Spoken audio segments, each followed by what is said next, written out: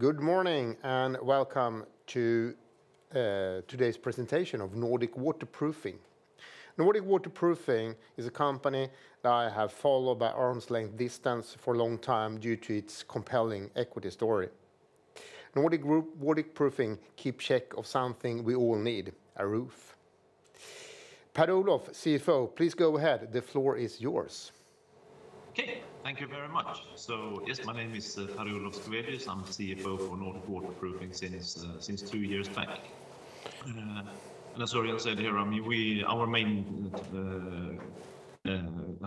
purpose here is to protect roofs and buildings and infrastructure with with the products we have. So if we move to the next slide then. Uh, here's a little bit about uh, our history. Uh, basically, the first companies in the group were established back in the 1800s even, but the modern Nordic Waterproofing group that was founded in 2011 when Danish Axcel acquired Trelleborg Waterproofing and the installation services from the Finnish Uh, Lemminkainen. During the private equity time here uh, in 2011 to 2016, the group grew through acquisitions and streamlined the operations, and then we did an IPO in 2016. Uh, the coming years then being listed on Nasdaq, we made further acquisitions and we also started to broaden the product portfolio into more sustainable construction solutions with acquiring the prefabricated elements of the Taasinge in Denmark. That followed then several acquisitions in that area. Uh, we also acquired Vegtech in Vislanda in Sweden, uh, a green urban infrastructure company with the Sedum solutions among others for roofs. Uh, that was followed by an acquisition of Distri-Pond in Belgium in 2019, where there was a downstream expansion of the SealEco business. 2020 was an unusual year, as we all know, and uh, the acquisition activity was quite low for us for obvious reasons. But we did take the opportunity to re-domicile the parent from uh, Denmark to Sweden and uh, through that simplifying some procedures as well, including the dividend process to our owners. 2021 was a new renewed acquisition drive that I'll come back to, and starting now 2022, we made one acquisition in U.K. already. So may I take the next slide, please? Uh, these are some photos of our products within Products and Solutions, where you have the traditional bitumen waterproofing membranes up to the the left. You have the the EPDM, uh, the synthetic rubber membranes uh, to to the right of that. And, and then we see some roof with Sedum solutions and also the prefabricated wooden elements. And, and basically wherever you need waterproofing in a building, that's where you can find our products. Next slide, please. Uh, we also have a segment for installation services, and there we basically install the products we sell, like the waterproofing membranes, uh, uh, also the roof and facade elements in wood. We also have two companies in Finland doing flooring with like epoxy solutions. The green infrastructure we acquired last year, a company doing metallic facades and eaves systems. Uh, then we also have two companies we have interest in where we install solar panels. Uh, next slide, please. So we are basically located in Northern Europe and in Northwest Europe, I would say. I mean, give and take 84%-85% of our turnover comes from the Scandinavian countries. And then our uh, synthetic rubber membrane business have activities in the Benelux and in U.K. as well. Which basically means our business are quite stable. These economies are normally quite stable over a business cycle. And as well, what we see over business cycle is that we uh, split between the new build and renovation 50/50. When it's uh, high high peak, so to say, we have more new build, and when uh, the building industry goes down, we do more renovation. Okay. Can I have next slide, please? Uh, it's very much based on sustainability, everything we do here, of course. With protecting the buildings to for better energy, lower energy consumption and uh, as well as uh, waterproofing, insulation and so forth. So uh we can also say that our the materials we use for waterproofing, that they typically have a durability of more than 50 years. When they need to be replaced, there typically a new layer is put on top. Uh, also our wood-based solutions actually contain the CO2, uh, versus other materials that actually uh, consumes a lot of CO2 in their production phase. Our green infrastructure contributes with a big biodiversity and also the solar panel installations is obviously a very clean energy solution. Next slide, please. So talking a bit about acquisitions, as we said, I mean, we've done more than 25 acquisitions since uh, the IPO, and we basically look for three things. Uh, the first thing is if we can find solutions where we broaden our sustainable solution for the building industry. Uh, second is if we can enhance our products and service offering with moving to, say, a one-stop shop for our suppliers in some respect. Or if we can add value through downstream integration like like uh, the Distri-Pond acquisition as well as the Gordon Low in U.K. now.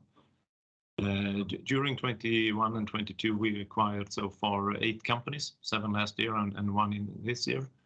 Uh, we took a first step into waterproofing contracting in Norway with the acquisition of Byggpartner. We broaden our say geographical span for the ponds and landscaping following the Distri-Pond acquisition in 2019. We now uh, broaden that into Netherlands and the U.K. Uh, prefabricated wooden elements where we were already present in Denmark and in Norway. We now expanded that into Finland with the first acquisition of one company there. And as well, we broaden our offering within the urban green landscaping in Sweden with uh, more into larger solutions for roof landscapes. Uh, and and we also did uh, uh, broaden our product portfolio, for instance, with protection systems and eaves in Finland. So we could say that, I mean, we doubled the turnover since the IPO through acquisitions and organic growth. Next slide, please. So a little bit about the financial development since the IPO. So last year we had a turnover of almost 3.7 billion SEK. Uh, it's basically doubled since the IPO, and I would say that one-third of the growth is organic and two-thirds come from acquisitions. And as I mentioned, we basically 85% of our sales comes from the Nordic region here. Uh, our EBITDA last year was 515 million, and that has as well uh, grown nicely over time. Uh, we had weaker years in 2017 to 2019 due to higher input uh, input prices on materials and uh, also some lower result initially from the acquisitions made. The higher profitability in recent years now, 2020 and 2021, is to some extent an effect of the positive impact we have from the pandemic with people not traveling, rather staying home, taking care of their houses and their gardens. Uh, but as well, we successfully managed the cost inflation, generally speaking, and also had some operational improvements that were certainly the volume helped. Uh, our main, uh, say, profitability measurement is actually ROCE, the return on capital employed, and at the end of 2021, we were at 16.6%. What we measure against is we have a threshold of 13% that we should not go under. It's worth noting, though, that we have Uh, increased our capital employed, uh, partly due to acquisitions, of course, but also that we have uh, invested in having a rather high inventory, both of raw material whenever we can, but as well as finished goods to secure our capability to deliver the last two years. Okay, can have the next slide, please. So a few things about the current situation that I think is very very obvious for all of us with the Russian war against Ukraine here. If we isolate to look at our group, I mean, we don't have any subsidiaries or any employees in in either country, so we're not exposed in that way. We do have some sales, but uh, uh, to these two countries, it's less than 0.4% of our total sales last year.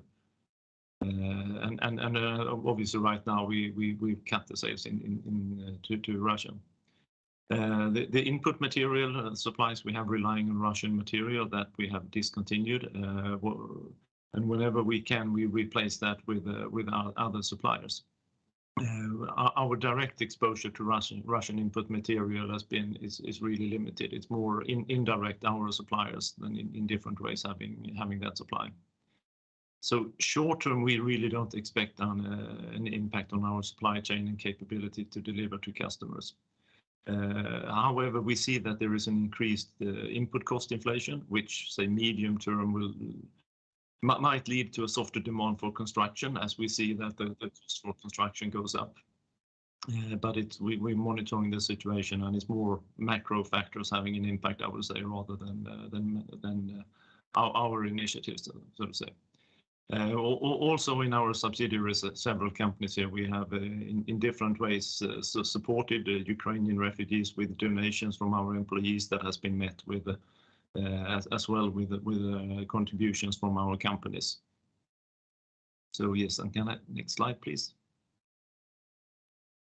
So, short on our financial targets. We have sales growth as a financial target where we want to exceed the market, and we feel that we typically our market grows with GDP, and we have outgrown that in the period here. Uh, profitability rose to be above 13%.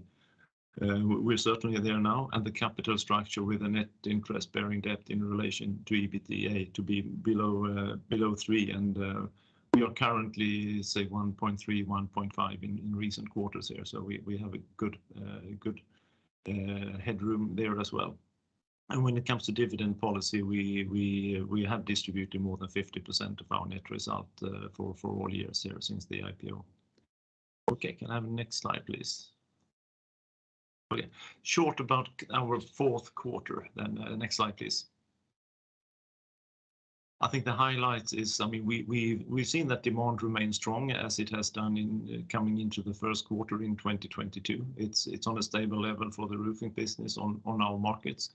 Uh, we had some challenges in installation services, as those of you who follow us have seen, where we had a lower profitability in the fourth quarter, partly because of the situation with uh, component shortages, but as well that we had uh, in particular two companies where we had operational issues that we are confident we're gonna solve during 2022. I will say in the medium term, we've seen the dramatic cost inflation, and that has might have an impact on the demand going forward. So and regarding the input cost inflation in Products & Solutions, we have absorbed these well through price increases, and we managed to keep our margin there. Whereas in Installation Services, that has been more of a challenge, and we've seen some margin compression uh, due to the increased prices on input material.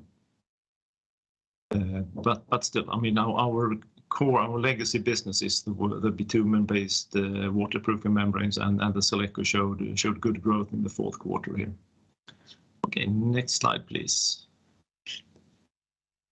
Yeah. Coming back to then uh, a little bit on the numbers in the fourth quarter, we had a we had a turnover of 890 million uh, SEK. Growth was 16% to a large extent driven by acquisitions with 11, but as well organic. It's worth noting that in the organic, it includes price increases. Uh, and we would say that price increases quarter-over-quarter were more than 5%, so volumes were slightly negative. Uh, EBITDA was up, from 93 million to 97 million, but the return on sales was uh, was reduced, mainly um, driven by Installation Services for the reasons I mentioned before. And our return on capital employed remained on a high level here. Can I have next slide, please? So yeah, just summing up a little bit about Nordic Waterproofing. I mean, why be a shareholder in in our group? And and uh, One one reason is, of course, we have a strong market position on basically all markets where we where we are present. We we offer sustainable solutions, and uh, we we say in the construction industry, our sensitivity to the cyclicality is is low, so we are fairly stable over a business cycle. Uh, we have a strong financial position with a strong balance sheet, and uh, at the current share price in particular, I would say we have an attractive yield with uh, high dividends. So with that, I think I stop, and I'll pass it back to you, Örjan, for your questions or the audience questions. Thank you very much, Per-Olof. Starting with your organic growth, it accelerated in Q4 to 5% relative to the full year of 4%, and you said most of that or all of that was actually price increases. Uh, where do you expect organic growth to head in the first half of uh, 2022? Uh, and Which are the drivers, and what risks do you see that organic growth will not be as strong let's say, as we saw in fourth quarter? Yeah. I would expect the growth to continue to be on a good level, as I say, uh, in our legacy businesses, in the bitumen uh, based uh, waterproofing membranes and as well as in the SealEco going into 2022. I still think a large portion of it will be will be driven by price rather than volume as it looks right now.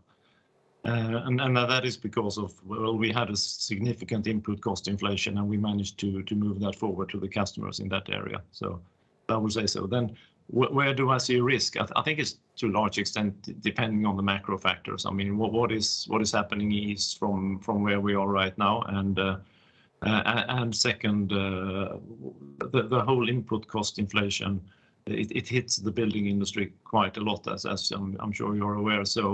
Uh, will that put a bit of dampening on the new constructions going forward? That uh, we haven't seen it yet. We haven't seen it in the order books. But, uh, say long term, that could certainly happen. Mm-hmm. Okay. Thank um, you. You touched upon the margin contraction we saw in the fourth quarter, and that was primarily or entirely driven by the installation business. Um, What measures are you taking? I you seem very confident to restore the margins there, but what measures are you taking here? Is it price increases or is it something else uh, that you are uh, working with right now? I think it's a couple of things. I mean, if we look at the installation services only where Uh, margin compression was to some extent driven by two companies where we had operational issues. There, I mean, we've taken actions to mitigate that. Uh, one was uh, the Norwegian company we acquired a year ago in installation services in Norway, where we unfortunately lost management quite early after the acquisition. And now that has been replaced since six months back. And we feel confident that we're doing the right excuse me doing the right things there.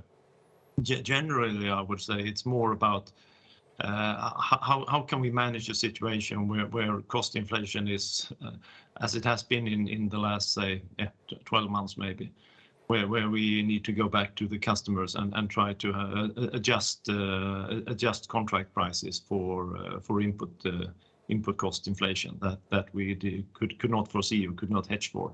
So I think they were looking at terms and conditions in contracts that to have that opportunity to at least a larger extent than we had before. Okay.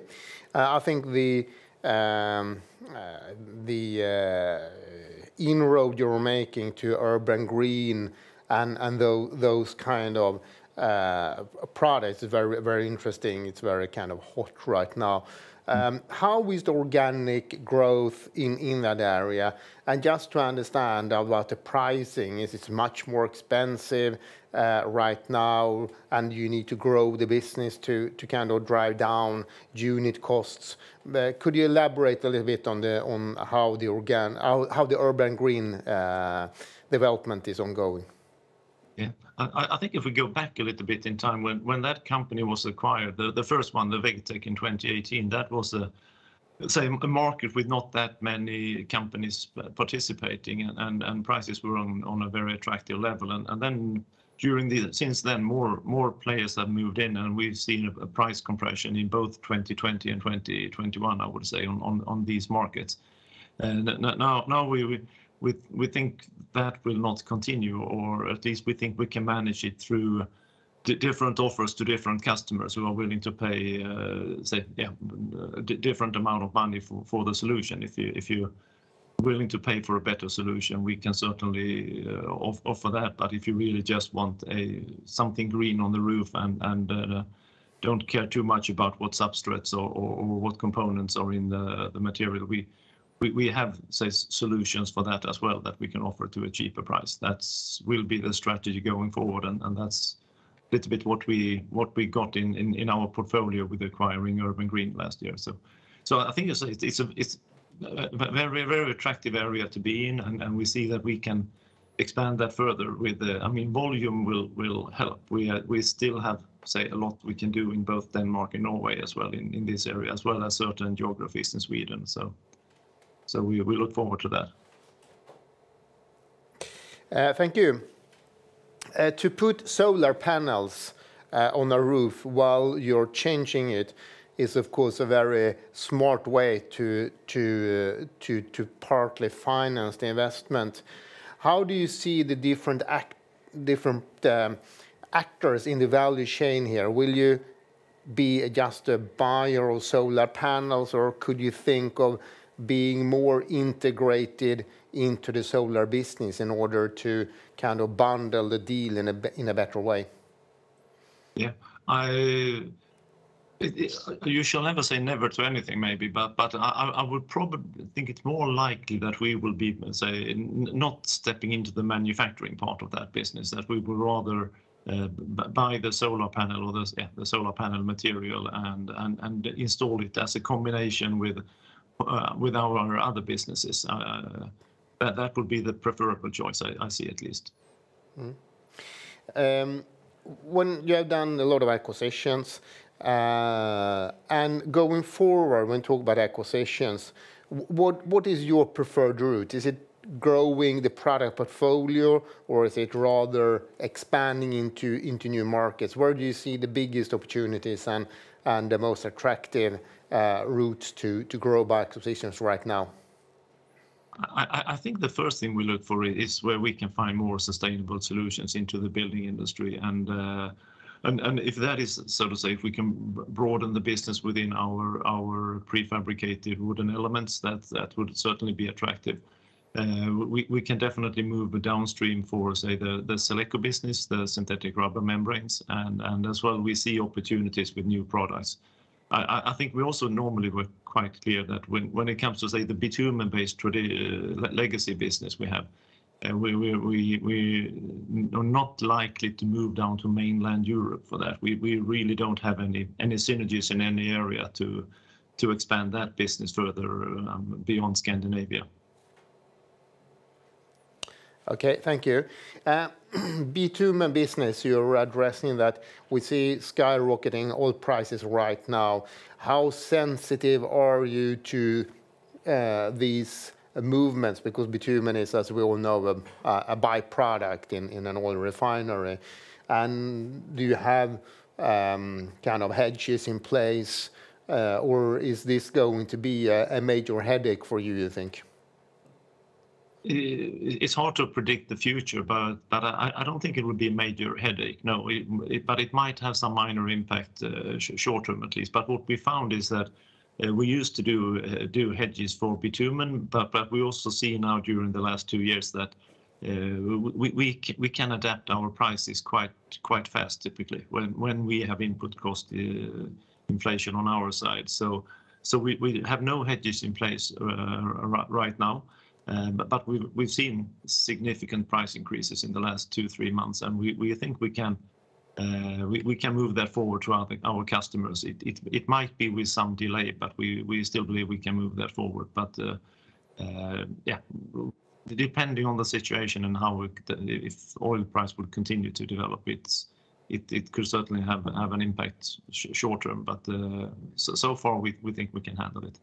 It's also worth noting that bitumen is not the only component in our products. It's a third. There are there are uh, about a third of the cost in uh, the product comes from bitumen. Mm. It's also worth highlighting that bitumen-based materials is not all of your product mix. You have a much broader product mix as well. Yeah. Okay. Thank you very much, Per-Olof. Very interesting presentation. And that ends uh, today's presentation from Nordic Waterproofing. Thank you for having me. Thank you very much. Thank you.